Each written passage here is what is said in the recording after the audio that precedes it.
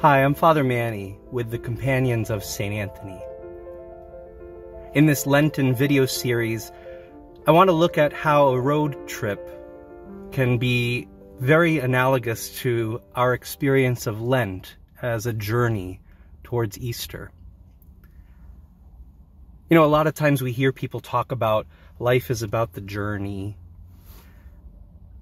Well, yes and no life, especially for a Christian, is ultimately about the destination. We're aimed towards heaven. And so this time on earth is an opportunity to prepare us for that. And in a very similar way, Lent is a preparation. It's not just Lent for the sake of Lent. Lent is ultimately to prepare us for the sacred Triduum, which we celebrate next week those days, Holy Thursday, Good Friday, the Easter Vigil, are all so important in the life of a follower of Jesus Christ.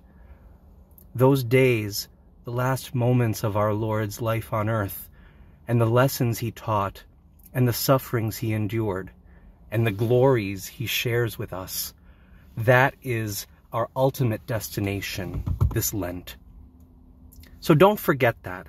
Don't get lost and caught up in Lent just for the sake of Lent. May Lent be a chance for us to prepare for the destination that we're headed towards, which is the sacred Triduum.